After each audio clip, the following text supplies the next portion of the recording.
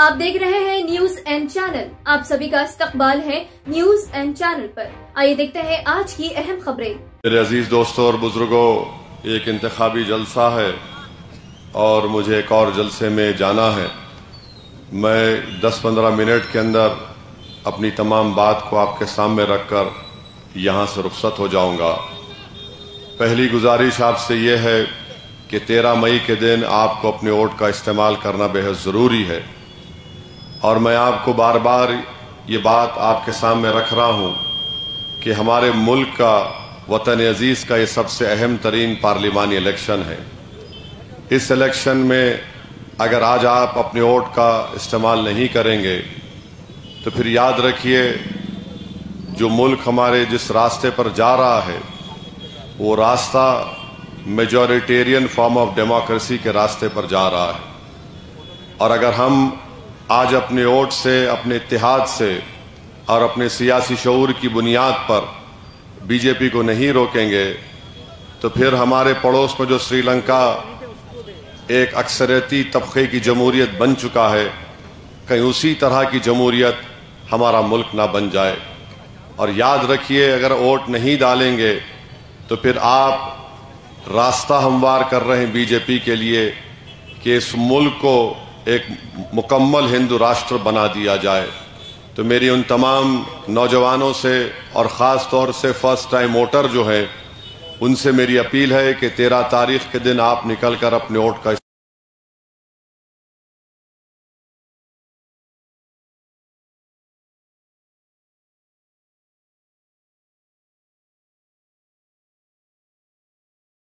जब आपके वोट का इस्तेमाल मुल्क को बचाने के लिए जमहूरियत को मज़बूत बचाने मज़बूत करने के लिए इस्तेमाल ना हो।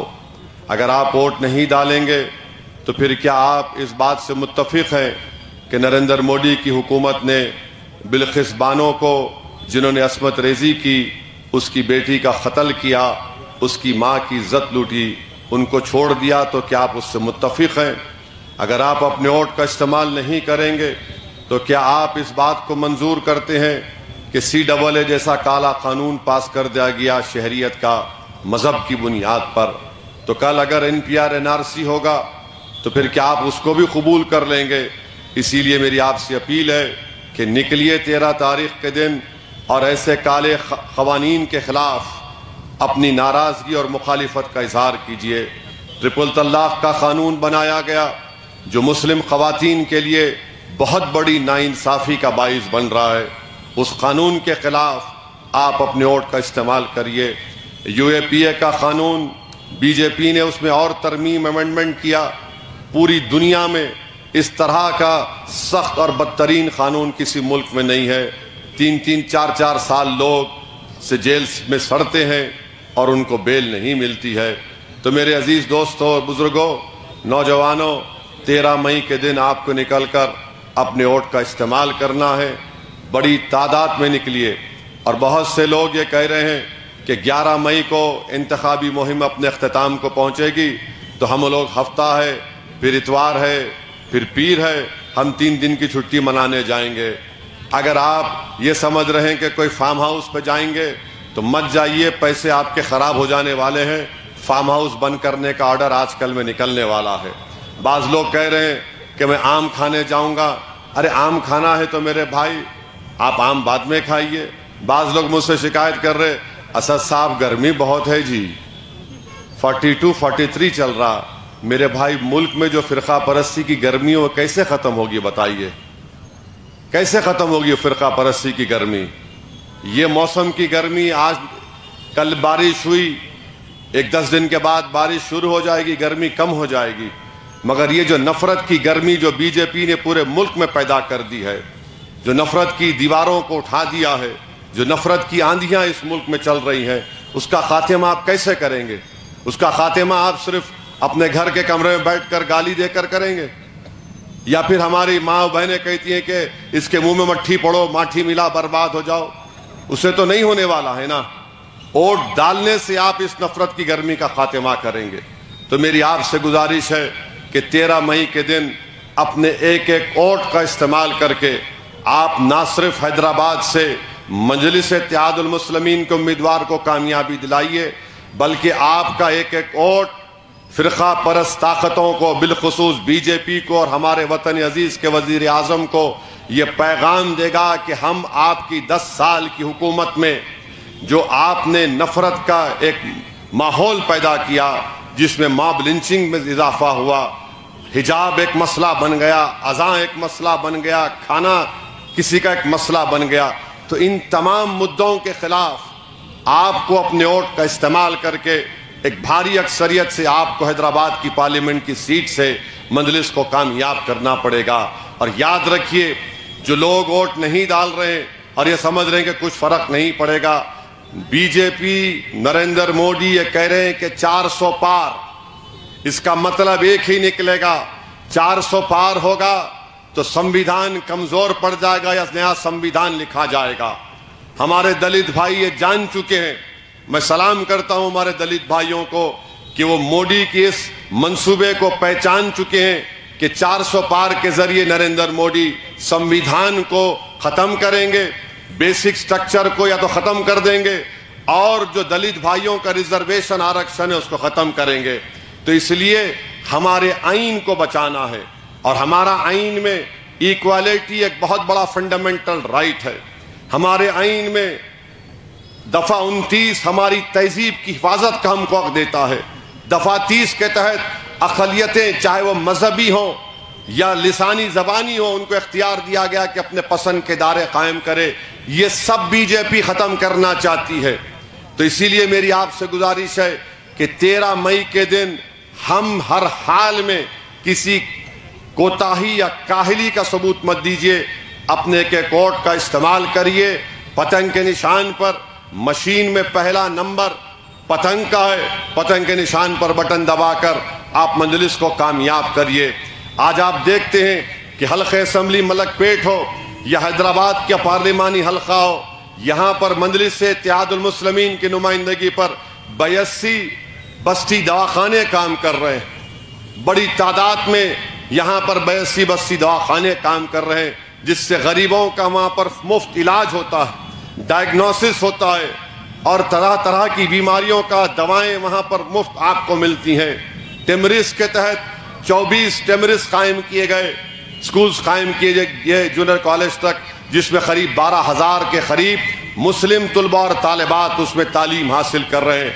ये सामने आपकी इमारत है चंचलगुड़ा जूनियर कॉलेज और स्कूल की इमारत भी, अल्हम्दुलिल्लाह, वहाँ पर काम जेर दौरान है।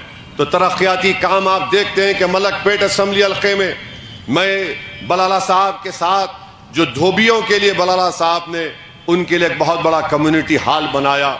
हमारे दलित भाइयों के लिए दलित बंधु की स्कीम उनको पूरा उनको दी, बल्कि दलितों के 220 लोगों को, यहाँ पर मुकामी मजलिस के एम बला साहब ने उनको टू बी एच के का उनको घर भी दिलाया 222 दलित परिवारों को, खानदान को। तो मंजलिस हर मैदान में काम कर रही है। मेरी आपसे गुजारिश है कि वोट का इस्तेमाल करिए। जो असम्बली इंतबात में पोलिंग परसेंटेज था, वो बिल्कुल नाकाबिल कबूल है। अब आपको आगे बढ़कर अपने वोट का इस्तेमाल करना है। और हमारे वज़ीर आज़म की जबान ऐसा दिख रही है कि रोड चलता आदमी भी उस तरह की जबान इस्तेमाल नहीं करता। एक वक्त वज़ीर आज़म अपने भाषण में तकरीर में बोल दिए कि भारत के अल्पसंख्यक समाज के मुसलमान जो इस मुल्क में सत्रह करोड़ की आबादी और घुसपैठी हैं। कोई वज़ीर आज़म ने कह दिया कि हमारी बेटियाँ ज़्यादा बच्चे पैदा करती हैं। फिर वज़ीर आज़म ने पूरी समाज की तोहिन करके कह दिया कि हिंदू बहनों के गलों से मंगल सूत्र उतार कर मुसलमानों को दिया जाएगा। मैं ज़िम्मेदारी के साथ कह रहा हूँ भारत के वज़ीर आज़म को बात मानना चाहिए कि मुसलमान गरीब होगा, मगर गयूर है, वो अपनी इज़्ज़त नफ्स का समझौता नहीं करता। हम क्यों किसी हमारे हिंदू बहन के गले का छीना हुआ मंगल सूत्र अपने जेब में डालेंगे? क्यों इस्तेमाल करेंगे? क्यों इस्तेमाल करेंगे हम? हरगिज नहीं करेंगे। वज़ीर आज़म की जबान इस तरह से जहर फैला रही है। और कह रहे हैं कि बच्चियाँ, ज़्यादा बच्चे पैदा करते, मोदी साहब, आपके अब्बा ने छह को पैदा किया, उसको क्या बोलेंगे? अमित शाह के अब्बा ने छह बेटियों को पैदा किया, उसको क्या बोलेंगे? गोलवालकर के अब्बा ने 11 को पैदा किया, उसको क्या बोलेंगे? आपको नज़र नहीं आता? मोदी की हुकूमत का आदाद शुमार, डेटा कहता है कि मुस्लिम खातन का टी टीएफआर रेट गिरा है। यकीनन गिरा है। मगर मोदी हमारे हिंदू भाइयों को पैगाम दे रहे भाइयों, बहनों, डरो, मुसलमान बहुत बच्चे पैदा कर रहे वरना तुम्हारी, हमारी इनकी आबादी बढ़ जाएँगी। नरेंद्र मोदी, कब तक झूठ बोलेंगे आप? कभी तो सच बोलो। और आप जानते नहीं है, जिस आइडियोलॉजी से नरेंद्र मोदी आते हैं, वो आरएसएस की आइडियोलॉजी है। आरएसएस इस मुल्क की आज़ादी में कोई रोल अदा नहीं किया। कोई रोल नहीं था उनका।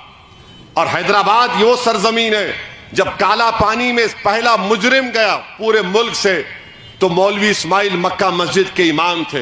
वो मौलवी इस्माइल जो रमज़ान के जुमतुलविदा में मस्जिद में खुतबा दिए, नमाज़ पढ़ाए, उसके बाद मक्का मस्जिद से जुलूस लेकर सुल्तान बाज़ार, मौजूदा सुल्तान बाज़ार के ब्रिटिश रेजिडेंसी के पास जाकर अंग्रेज़ों के खिलाफ एहतजाज हुआ, फायरिंग हुई।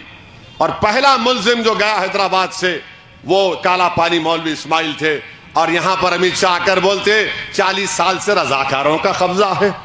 अरे आप होम मिनिस्टर हैं, या आपके कान में फूल है अमित शाह बताइए। आपको तो पढ़ना चाहिए, आपको तो तारीख मालूम होनी चाहिए। अगर आपको नहीं मालूम तो जिसको मालूम उससे पढ़ लिया करो। जो रजाकार थे वो पाकिस्तान को भाग गए। जो वफादार थे, वो तो इन जैसे माइका लाल से आँख में आँख डालकर लड़ रहे हैं और सुबह कयामत तक लड़ते रहेंगे। और मोदी आज नरेंद्र मोदी आकर बोल रहे, असदुद्दीन ओवैसी को बीआरएस कांग्रेस मदद कर रही। नरेंद्र मोदी कोई मदद नहीं कर रहा सिवाय अल्लाह के 40 साल से। बीआरएस कांग्रेस मदद कर रही। नरेंद्र मोदी, मैं आपको एक ऑफ़र दे रहा हूँ। आप कोई टाइम दे दो मैं हैदराबाद की बेहतरीन ईरानी चाय आपको पिलाता हूँ। उस्मानिया बिस्किट पिलाता हूँ। आप बीआरएस, कांग्रेस को बिठाकर आप तीनों बैठ के डिसाइड कर लो कि असदुद्दीन ओवैसी किसका दूल्हा भाई है। कभी इनू बोलते बी टीम, कभी उनू बोलते ए टीम। अरे आप बताइए वज़ीर आज़म बोल रहे हैं, ये दोनों मदद कर रहे क्या मदद कर रहे अरे अगर हम जीत रहे हैं तो हमारे इतिहाद की ताकत और कुत के बलबूते पर जीतते आए।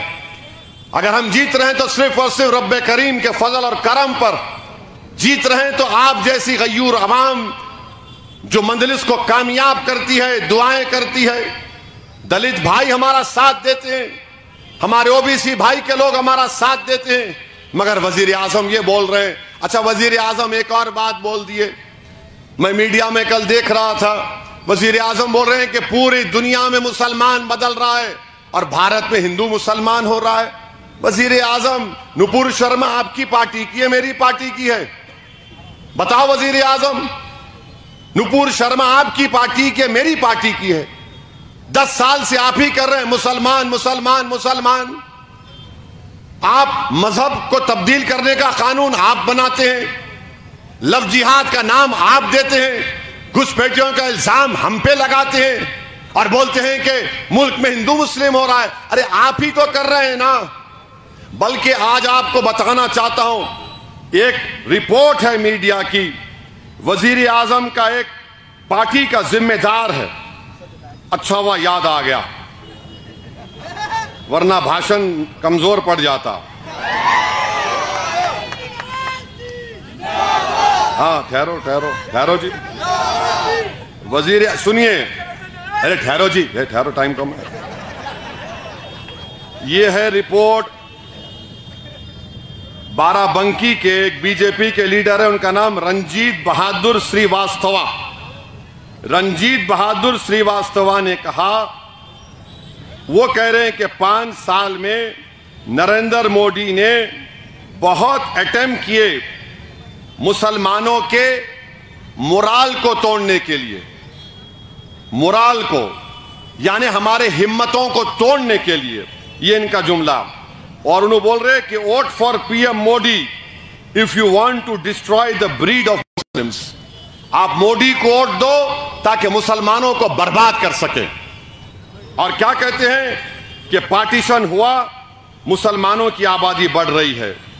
और और ऐसा हो जाएगा कि पूरे मुल्क में उनकी आबादी बढ़ जाएँगी।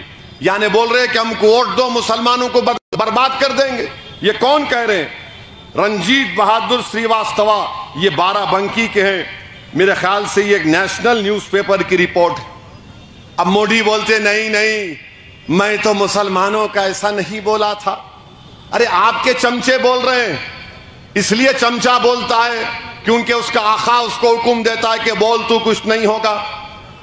आप बताइए, जबान को इस्तेमाल करेगा? और वज़ीर आज़म बोलते हैं कि पूरी दुनिया मुसलमान बदल रहा और भारत में हिंदू मुस्लिम हो रहा है। वज़ीर आज़म फिर ये भी बोलते हैं कि मैं गल्फ कंट्रीज़ को जाता हूँ तो मुझे बड़ी इज़्ज़त दी जाती है। अरे, आपको इज़्ज़त मिलनी चाहिए। आप भारत के वज़ीर आज़म में आपकी बेइज्जती कौन क्यों करेगा? मगर अगर आप हमको क्यों मिला रहे हैं अरब इमारत से? भारत के मुसलमानों को सऊदी अरब से क्या करना है? भारत के मुसलमानों को ईरान से क्या करना है? भारत के मुसलमानों को इराक से, कुवैत से, कतर से, बहरीन से क्या करना है? अरे आप यहाँ के वज़ीर आज़म हैं और ये बोलना कि देखो, वहाँ के मुसलमान ऐसा कर रहे हैं। अरे ये जमहूरियत है, वो बादशाहत है। ये जमहूरियत है, वो बादशाहत है। वहाँ पर एक ही मज़हब है, यहाँ पर इस देश का कोई मज़हब नहीं है। और आप बार बार बोलते, वहाँ पर यार मेरे को क्या करना है भाई अरब ममालिक से? ताल्लुकात अच्छे रखिए। माशाल्लाह भारत के लोग काम करते हैं। मगर ये बोलना, मैं वहाँ गया तो देखो, मेरा कैसा इस्तेकबाल होता। मोदी जी, आप जो जाकर मोहम्मद बिन जैद और मोहम्मद बिन सलमान को जो लपेटते ना, ऐसा लपटता कि दो भाई बिछड़ गए थे मेले में। ऐसा लपटते, या हबीबी या हबीबी या हबीबी। अरे मोदी जी, आप एक मुसलमान को टिकट नहीं देते। वहाँ भी बोलो, या हबीबी। महा बोलेंगे या हबीबी। अने प्लेन से उतरे तो ऐसा पकड़ लेते गच हजरात बोलते ना गच के पकड़ लेते छोड़ते ही नहीं। अब बेचारा उन्हें एक मिनट बता अरे छोड़ो छोड़ो मैं नहीं, नहीं छोड़ता। अरे छोड़ो मैं नहीं छोड़ता मैं। पकड़ लेते हाथ। हम क्या बोल रहे हैं आपको यहाँ पर क्या है मुसीबत? यहाँ पर क्यों आप ऐसा कर रहे हैं? और फिर आप बोल रहे हैं कि मुसलमान जो है, वो छोड़ दें। किसी को इकतदार पे लाना, नहीं लाना। अरे हम कहाँ लाते इकतदार पे? हम तो सियासी तौर पर आपने हमारे को मार्जिनलाइज करके रख दिया। अब तो हद ये हो गई हमारे मुल्क में। एक यूनिवर्सिटी में, एक इम्तिहान हुआ प्राइवेट यूनिवर्सिटी में। उसमें तीन, चार स्टूडेंट ने एग्ज़ाम क्वेश्चन के आंसर पेपर में जय श्री राम का जवाब लिख दिया। एग्जामिनर ने उनको 50 फ़ीसद मार्क्स दे दिए। 50 परसेंट मार्क्स दे दिए। सोचो आप। कुछ भी नहीं लिखे। क्योंकि एग्जामिनर को मालूम, अगर मैं फेल करा तो मोदी मेरे को फेल कर देगा। तो लिख दिया उन्हें। तो मैं अब ये कहना चाह रहा हूँ, लतीफा बना दिया उसको मैं। वो चार स्टूडेंट का नाम मेरे को मालूम हुआ। वो चार स्टूडेंट का नाम क्या था मालूम आपको? एक का नाम नरेंद्र मोदी, अमित शाह, योगी नड्डा। कुछ काम नहीं किए दस साल में। खाली एक नारा लगा दिए वोट दो वोट दो वोट दो। क्या किए? नौजवानों का मुकद्दर बेरोजगार बना के रख दिए। नौजवान रोज़गार के लिए तड़प रहा है, कहीं रोज़गार नहीं है। और नौजवानों को बोल दिए, ले, तू ये ले, तू चले आ गौरक्षक के नाम पर, टेंशन पैदा कर दे। बताइए क्या हो रहा है? महँगाई आसमानों को छू रही है। इन्हों 400 पार बोल रहे, पेट्रोल 100 पार हो गया। फ़िक्र ही नहीं है उसकी। तो मेरे अज़ीज़ दोस्तों और बुज़ुर्गों, इसीलिए पार्लियामेंट का इलेक्शन बहुत अहम है। और फिर आप जानिए कि हमारे मुल्क की जो सियासत की एक तल हकीकत है, एक क्रॉस रियलिटी है, वो क्या है? वो ये है कि नरेंद्र मोदी और उनकी पार्टी मुसलमानों को वोट नहीं देती, टिकट नहीं देती। अब दूसरी जो पार्टियाँ हैं, जो अपने आप को दूध की धुली भी कहलाती हैं, या बोलती हैं, महाराष्ट्र में 48 लोकसभा की सीटें, कांग्रेस, शरद पवार और जो नए सेकुलरिज्म के दूल्हे बने, उद्धव ठाकरे, उन्हें एक को मुसलमान टिकट नहीं देते। कांग्रेस का एक लीडर बोल रहा है कि एक करोड़ दस लाख मुस्लिम है, हमको टिकट दो। और किसके खिलाफ कैंडिडेट खड़ा कर रहे, किसको हराना चाह रहे इम्तियाज़ जलील को? अरे एक इम्तियाज़ जलील जीत कर आया तो पूरे बीजेपी, दो शिवसेना, दो राष्ट्रवादी कांग्रेस और एक कांग्रेस पूरे मिलके कुछ भी हो जाओ, औरंगाबाद से इम्तियाज़ जलील नहीं जीतना। क्यों इतनी नफरत है आपको? कि हमारी जमहूरियत में हर लोगों की नुमाइंदगी नहीं होनी चाहिए? यह नफरत क्या है तो इसीलिए आपसे मैं अपील कर रहा हूँ कि हमारी आवाज़ भारत की पार्लियामेंट में होना चाहिए। और अगर कल यूनिफॉर्म सिविल कोड या सिविल कोड का कानून लाया जाएगा, क्या होगा उस कानून में? बीजेपी ने उत्तराखंड प्रदेश में यूनिफॉर्म सिविल कोड को नाफिद कर दिया। और यूनिफॉर्म सिविल कोड उत्तराखंड में क्या कहता है कि मुसलमानों को शादी स्पेशल मैरिज एक्ट के तहत करना पड़ता है। खुद निकाह नहीं होगा, काजी साहब नहीं होंगे, गवाह नहीं होंगे। मेहर का रकम दुल्हन को नहीं दी जाएगी। बताओ आप, कल यह कानून मुल्क में आएगा तो फिर हमारी शनाख्त को क्या होगा? हमारी तहजीब का क्या होगा? हमारे मजहबी रसूमात का क्या होगा? तो यह बीजेपी काम करना चाहती है। मेरे अज़ीज़ दोस्तों और बुज़ुर्गों, अगर आज भी आप वोट नहीं डालेंगे तो फिर क्या जवाब देंगे बोलो? और फिर ये जो बीजेपी के उम्मीदवार हैं, उन्होंने एक वीडियो उनका जारी हुआ कि तीर मार रहे इमेजिनरी तीर मस्जिद की तरफ़, वो मस्जिद की तरफ़ नहीं था, वो शहर हैदराबाद के अमन के खिलाफ था। वो हैदराबाद में जो हमने बरसों मेहनत करके यहाँ पर अमन कायम किया, वो हैदराबाद को उन्नीस सौ अस्सी और नब्बे के दहे में लेकर जाना चाहते तेलंगाना के अमन को बर्बाद करना चाहते हैं। तो इसीलिए हम आपसे अपील कर रहे हैं कि अपने वोट का इस्तेमाल करिए, पोलिंग परसेंटेज को बढ़ाइए। अब ये हमारा मिजाज ग्रामी है कि सुबह उठ के बोलेंगे बेगम, जरा खीमा बनाए, नहीं बनाए। तो अंदर से आवाज़ आएँगी, जाके लेके आओ। अरे इतनी जल्दी नहीं खुलती बड़े की दुकान या छोटे की दुकान। अरे भाई, ये छोड़ो, एक दिन सुबह सुबह निकलो, लेके जाओ अपनी बेगम को, अपनी वालिदा को, पोलिंग बूथ को जाओ, जाके पतंग के निशान पर बटन दबा के आओ और फ़ोन करो सबको कि क्या भाई साहब, आज वोट डाले नहीं डाले। तो ये काम हमको और आपको करना है। डरने और घबराने की ज़रूरत नहीं है। मोदी जी जो है ना फेंकने के बड़े मास्टर हैं। लंबा लंबा छोड़ते। लंबा लंबा। अब बोल रहे कि महिलाओं को तीन लाख मिलेगा। हमारे आसिम बेकार अच्छा बोले। अरे भाई, वो तीन लाख माने पंद्रह लाख कितने हो गए? अट्ठारह लाख हो गए, वो कहा है? मगर मोदी जी बोल रहे, मैं ये करूँगा, मैं वो कर दूँगा, ऐसा कर दूँगा। आप सोचो एक वज़ीर आज़म, विकसित भारत, चंद्रायन थ्री, पाँच ट्रिलियन की इकोनॉमी सिक्योरिटी काउंसिल की परमानेंट मेंबरशिप क्या क्या बोल रहे थे? अब आ गए अपने ओरिजिनल गारंटी पर। अपनी ओरिजिनल गारंटी पर आ गए। जिहादी बोल रहे हैं। अब बोल रहे कि क्या क्रिकेट मैच में रिजर्वेशन मिलेगा? अरे मोदी जी, कौन सा क्रिकेट मैच हो रहा है? क्रिकेट मैच तो 10 साल से हो रहा है ना। और मोदी जी बोलते हैं कि वोट दो मेरे को, नहीं तो ताला लग जाएगा। अरे ताला तो आप और कांग्रेस ने मिलकर खोला था। आप और कांग्रेस ने मिलकर खोला था। 86 में आपने खोला था। आप बोल रहे, ताला लग जाएगा। मेरे अज़ीज़ दोस्तों और बुज़ुर्गों, इस मुल्क को बचाना है, इस देश को बचाना है, और वज़ीर आज़म के बातों में मत आइए। बड़ी बड़ी वादे करते हैं, कुछ नहीं होता। इनके फेंकने की मिसाल एक कोई जोक बना दिया। सऊदी अरब को गए थे नरेंद्र मोदी, रियाद में एक तोप थी, लंबी तोप। वो तोप को नरेंद्र मोदी दो मतलब दो मरतबा उसका चक्कर मारे और से देखे। ऐनक उतार के, ऐनक लगा के। और वो बाजू एक शेख था, अहमद बलाला का दोस्त था। शेख था, अहमद बलाला का दोस्त था। फ़ोन करके पूछ लिया था, इन्हें क्या है? तो मोदी जी बोले, अच्छी तोप है। उन्हें बोला बहुत अच्छी है। कितना दूर फेंकती मोदी जी पूछे? तो उन्हें बोला, वल्लाही, तुझसे कम फेंकती। अब ये मामला हो चुका है। ये मामला हो चुका है। आप बताइए वज़ीर आज़म जहाँ कहीं भी जा रहे हैं, एक लंबी लंबी छोड़ दे रहे हैं, अरे भाई, देश तो रहेगा ना। मोदी जी आज आप जो भाषा दे रहे हैं ना, वो वज़ीर आज़म को जेब नहीं देता। आज आप वज़ीर आज़म है, कल नहीं रहेंगे, मुल्क तो रहेगा। एक इलेक्शन से मुल्क तो खत्म नहीं हो जाएगा ना। मगर आज जो अब नफरत की बीज बो रहे हैं, इससे मुल्क को नुकसान होगा। और ये बार बार आरएसएस वाले बोलते राष्ट्रवाद नेशनलिज्म अरे आरएसएस वालों, चुल्लू भर पानी में तुम डूब मरो। 2000 स्क्वायर किलोमीटर पर चीन कब्जा करके बैठ गया। कितने चार साल हो गए टाई टाई हो गई मोदी की। कोई ज़मीन पे कब्जा करके बैठ गया 2000 स्क्वायर किलोमीटर पर, नरेंद्र मोदी कुछ नहीं बोलते चाइना को।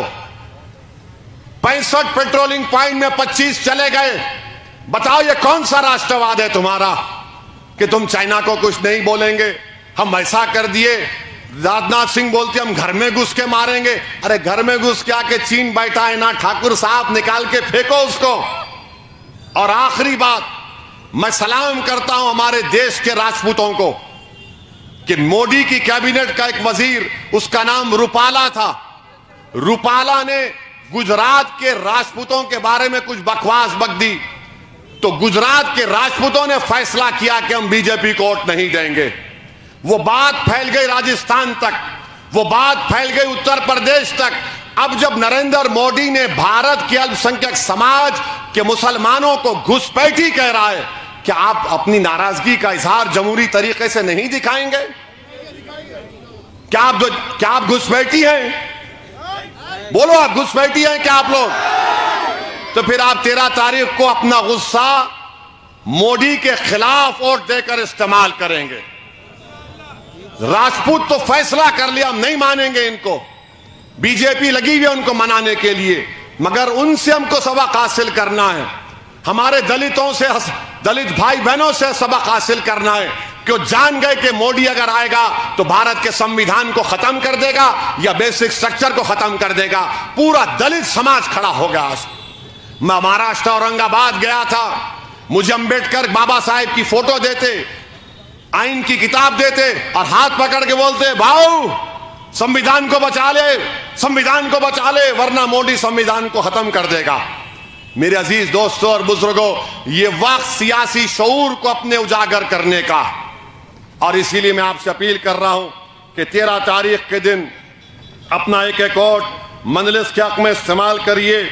और इसीलिए मेरे अज़ीज़ दोस्तों और बुज़ुर्गों, किसी एक एक शायर साहब ने हैदराबाद के, उनका नाम क्या है? नाम नाम बार बार भूल जा रहा हूँ मैं। ये हाँ? क्या नाम बोले? हाँ खामा खां को सुनते, हरी सिंह को सुनते। हरी सिंह को सुनो आप। हरी सिंह जो है दखनी जबान में लिखे, किसके बारे में लिखे, मेरे से नहीं पूछना। वो आप फैसला कर लेना। अम्मा बाबा को भूल गया।